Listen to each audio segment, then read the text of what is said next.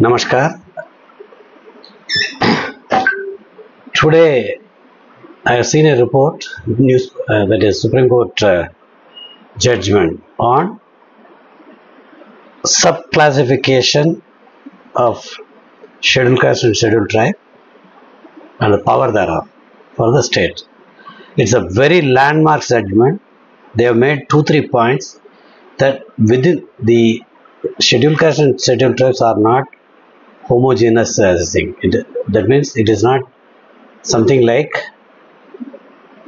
all the SCs are not similar. So there is uh, again uh, upper level and lower level and all those things are there. So subclassification is right, but only thing is they have told very clearly you get quantifiable and qualitative data. It cannot be on your whim, whims and fancies. That is the uh, very important point to be noted. Even though Supreme Court has told that states can do subclassification, which I feel is it should be with the approval of uh, Government of India. As one of the judges has made that point very clearly. Now majority has told the state can also do based on proper data. Okay, there lies the important point. So y- y- for political reasons, states cannot do any tinkering on all these things. Number one. But the most important aspect of their judgment, even though it is not uh, operative portion, that creamy layers among scheduled caste and scheduled tribe should be taken out of reservation. That is the very important point, which I have been mentioning in my earlier videos on reservation. That reservation is required because the people uh, socially backward and economically backward people have to be lifted. They have to be treated at par. So till that is done, reservation is required. Yes, hundred percent. In fact, I used to say that you give free education to the people who are from the backward uh, class and I mean socially backward and uh, tho- those uh, scheduled caste and uh, scheduled tribe uh, people. The children should be given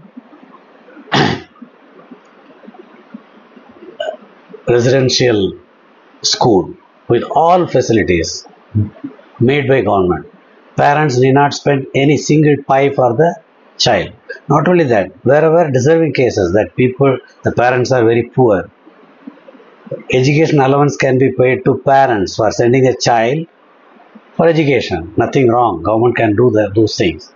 This I have told in a, earlier video. Now the point is, the Supreme Court has touched upon the creamy layer aspect. Yes, my question is, an IAS officer who is probably under scheduled caste or scheduled tribe, can we say a class 1 officer or IAS, IPS officer as socially backward? No. Their status makes them the power, the authority, the status make them the topmost people. Why should the children of those senior officers be given reservation, robbing the facility, robbing the reservation seats from the downtrodden people. It should go to the people who are really deserving. This is what I have been telling, and Supreme Court has told, even though Supreme Court has not mentioned what is creamy layer and what is not creamy layer, because they are told you cannot uh, take uh, based on the OBC creamy layer. I agree. But there should be some classification. The people who earn apparently more than one and a half lakhs in a month should be outside the purview of uh, economically or socially backward. The money matters.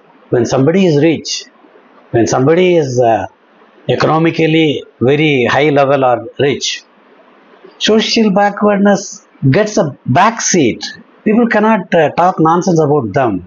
It is only the people who are economically backward, who are illiterate, as we see in the news, they are ill treated. So for them, we have to give our hands to lift them up. So naturally, this reservation should go to the deserving people of SCST. And that is to start with the officers who are group A officers whose children should not get reservation. Number one. The business people or people who earn more than one and a half, one and a half lakhs in a month. That means 18 lakhs in a year. Their children should be outside the purview of reservation. It's simple calculation. They pay more than 30% tax. So they, they should be outside the purview of because if you say they are also socially and economically backward, it is wrong. It is misnomer. And all these reservations should go to the people. Among them, socially backward people are there in our country. They should be lifted at par with all other people.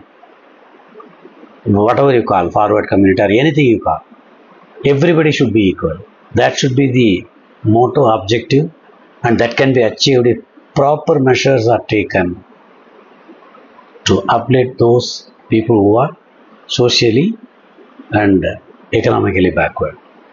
Of course, one of the judges has made a point that the reservation should be only for first generation, which I feel is unfair. The first generation is up to group A, group B. Group C, group D staff. Now group D is not there, group C let us say. They are economically backward again. Socially okay since they are earning a monthly thing. Social backwardness may not be there. But economic uh, strength, it is only very lower level they get salary and all. So group C employees children. Similar to, I mean, uh, OBC they should be given again. Nothing wrong. It is only where the people who cross the limit of 18 lakhs in a uh, year, something like that. If, I am giving some indication. So that way it should be done. Then I think the purpose of reservation will serve its uh, purpose and the, the objective can be achieved sooner than later. That is to bring all the people at par everybody is equal. That should be our uh, motive. Okay it's really great. There is one more uh, news.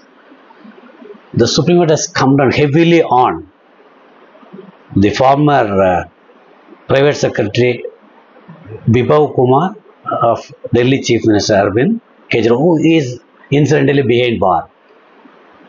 This man has beaten Swati Maliwal, who is incidentally Rajya Sabha member, black and blue. And uh, she, even though she was a woman, and uh, she tried to tell that she had a health issue, don't uh, beat me, all those things. That man is alleged to have beaten her left and right in the resident in the house of chief minister. When chief minister is said to be inside the house. So the supreme court has said we are shocked in the manner at which it is done to somebody visiting the cm residence. This is one of the points supreme court has made. And the supreme court said what kind of power has gone into his head that Bibhav Kumar? That she tells him to stop as she is having a particular physical condition but he continues it is inhuman. What kind of moral policing does he do? Is this kind of goon supposed to work at uh, cm's residence? They have called him goon and that fellow was supported by the same cm arvind kejriwal after the incident he was going around with him in the electioneering and other thing and uh, they were trying to shame this uh, Swati Maliwal. This is how Aam functions.